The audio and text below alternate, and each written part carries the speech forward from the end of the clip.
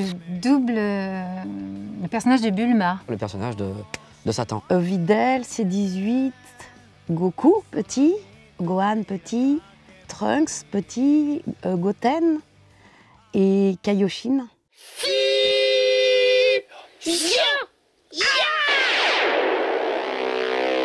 On a deux pistes. Donc là, je faisais une première piste Goten et une deuxième piste euh, Trunks.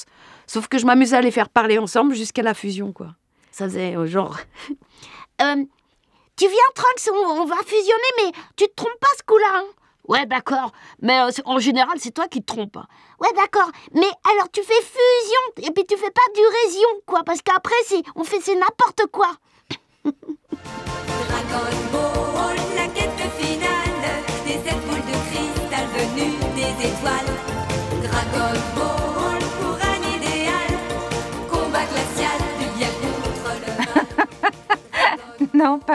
C'est le premier manga qui est arrivé en, en France dans le club Dorothée, donc euh, c'était très nouveau pour toute l'équipe qu'on était.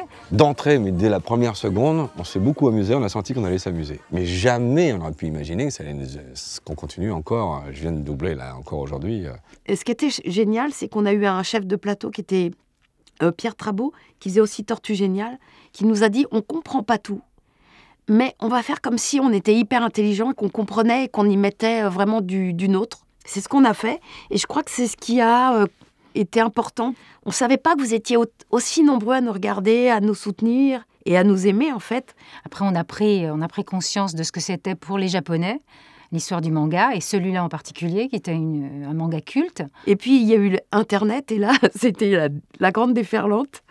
C'est la folie, la folie. Avec le temps, euh, les gens, ça leur rappelle leur enfance. Du coup, il y a mille raisons pour lesquelles ça, ça dure. Mais quelle est la raison principale J'en sais rien, je pourrais pas dire. Certainement le doublage. Là, je déconne. Moi, c'est Goku. C'est euh, ma première rencontre avec le manga, en fait. hein. Puis je l'ai vu grandir, quoi. C'est rigolo. hein. Après, j'aime bien Gohan parce que il est héros malgré lui. Il faut vraiment qu'il soit révolté.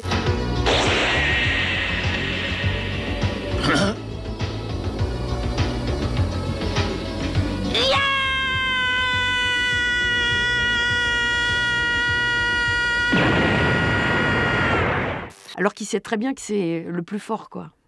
Il le sait, mais il n'a pas envie de se fighter. Euh, on me dit, tiens, tu vas, toi, tu vas faire le personnage de, de Satan.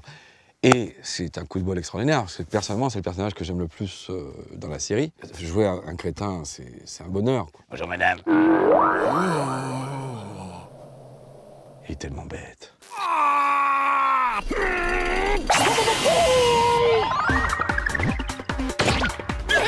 C'était, je pense, en 89.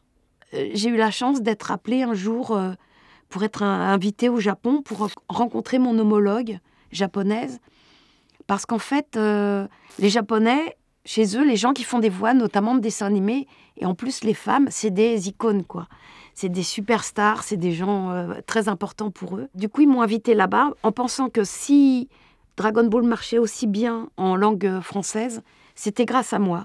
Et euh, je suis arrivée au Japon, j'ai été reçue mais comme une reine. J'ai rencontré Masako, on a fait une, émission de télé. C'était euh, un truc hyper important là-bas, Dragon Ball, qu'il y en avait sur les tasses. Euh, Je mangeais des frites avec... Les frites, c'était des cheveux Dragon Ball.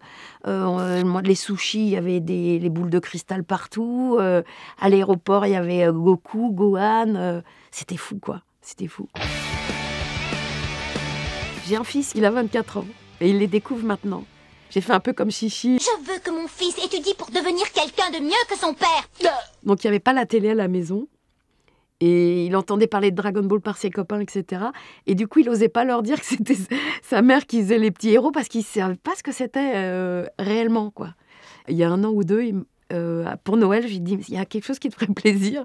Et il me dit ben oui, en fait, j'aimerais bien découvrir Dragon Ball. Tous les Noëls, depuis deux ans, je lui offre des coffrets de Dragon Ball qu'il regarde tout au long de l'année. Et il aime bien.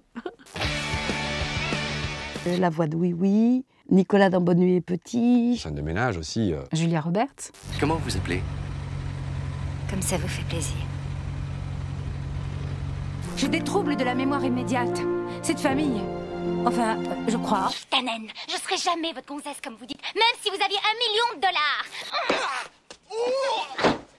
Ça m'est arrivé, oui, d'être au théâtre, euh, de jouer, et euh, à la sortie, euh, un petit groupe de jeunes qui, qui nous attendaient tous, et il y a une petite jeune fille qui est arrivée vers moi et qui m'a dit « Je vous reconnais, vous êtes la Schtroumpfette C'est vraiment pas juste. !» Et c'est très bizarre, parce que c'était un rôle dramatique que je jouais, et euh, ça remet bien les choses en place.